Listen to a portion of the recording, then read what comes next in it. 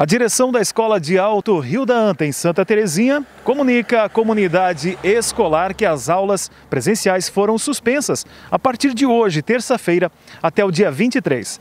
Essa é uma decisão tomada em conjunto com a Vigilância Sanitária e Epidemiológica do município, com base nos protocolos que visam a contenção da pandemia e pedem que permaneçam em casa. Se cada um fizer a sua parte, vamos vencer essa batalha. Cledson para a Rede Web TV a sua TV online.